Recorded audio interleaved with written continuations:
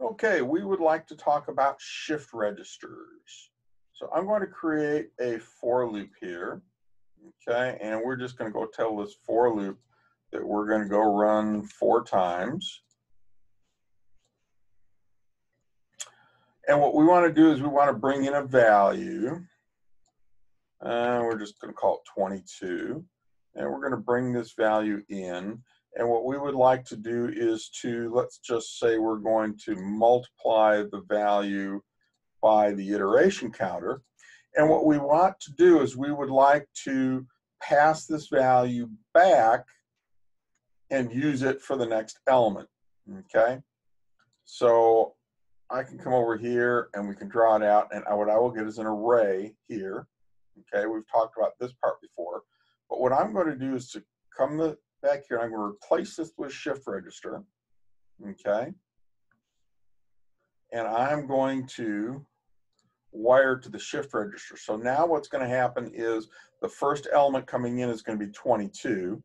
I'm going to have 22 times 0, and that's what I'm going to get passed back, so the next one's going to be 0. I'm going to create a an indicator here so that we can look and see what our values are coming out of the the the math function here. And when I run this, you can say see that I got all zeros. Why did I get all zeros? Because my first one is zero, right? Zero times 22 is zero, pass back zero, zero times anything is, is zero, pass back. So I got zeros all the time. Let's replace this guy with an add function. So we're going to replace with the numeric palette. Let's make this guy an add instead of a multiply and execute this again. And you can see that now I get 22, 23, 25, 28, because again, this is passing the data back.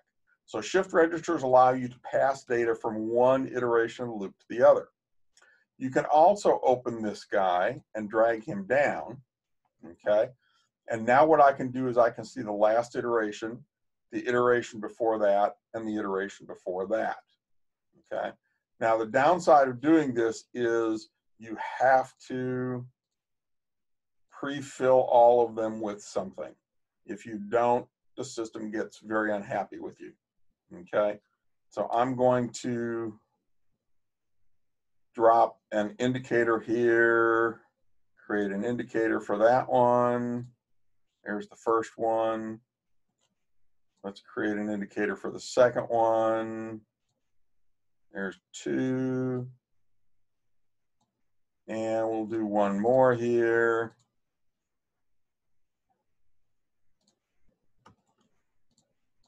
Okay, so now we've created three indicators right here. So we're looking at what those guys are. And now when we execute this, we can see that, that this one is the last one, iteration that had happened. This one is the iteration before, and this one is the iteration before that. Okay, and you can expand those to as many as you want. And that's shift registers.